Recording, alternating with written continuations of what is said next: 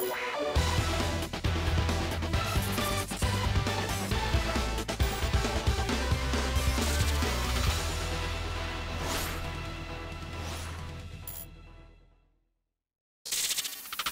everyone, how are you doing? This is MD Tech here with another quick tutorial. In today's video, I'm going to show you guys how to hopefully resolve if the Windows Update functionality is not working properly on your Windows 7 computer. So this fix will also apply for Windows 10 devices and Windows 8 as well.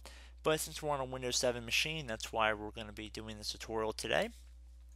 So we're going to jump right into it and we're going to start by opening up the start menu and you want to type in services one of the matches underneath programs should say services here, just the word services. You want to left click on that.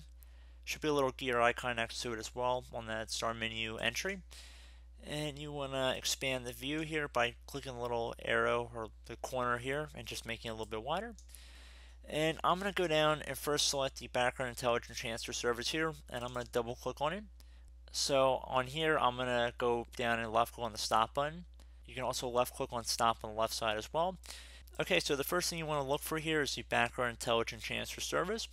Left click on the stop the service button right up here on the left. And you also want to double click on it and you want to make sure startup type is either set to automatic or automatic delayed start. So basically we're just stopping the service right now, but it should turn on when our computer turns back on. That's important because if the startup type is set to disabled, it's still going to be disabled when we restart our computer. And you want to also go down to the Windows Update service down here as well. Double click on it. Make sure startup type is set to automatic or automatic delayed start, but you want to make sure service status again is set to stop. So you want to stop the service if it's not already. And like we did in the beginning, you could left click on stop up here if it was already running. Once you've done that, we're going to close out of here and we're going to open up the start menu and you want to type in computer. One of the best managers should just say computer. Left click on that now you want to go underneath whatever hard disk Windows is installed on. There should be a little icon of a Windows above a hard disk icon and for most people it should say the local disk. You want to double click on it and now you want to double click on Windows. Now you want to scroll down here until you get to software distribution. Double click on that. Now anything listed in here we want to just highlight over. So hold down the left mouse pointer on your clicker drag over all of the entries in here and then right click and delete or you can left click on delete on your keyboard as well if you prefer to do that method.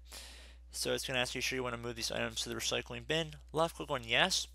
All we're doing here is just basically deleting the Windows Update cache so backup copies of the Windows updates that are no longer necessary.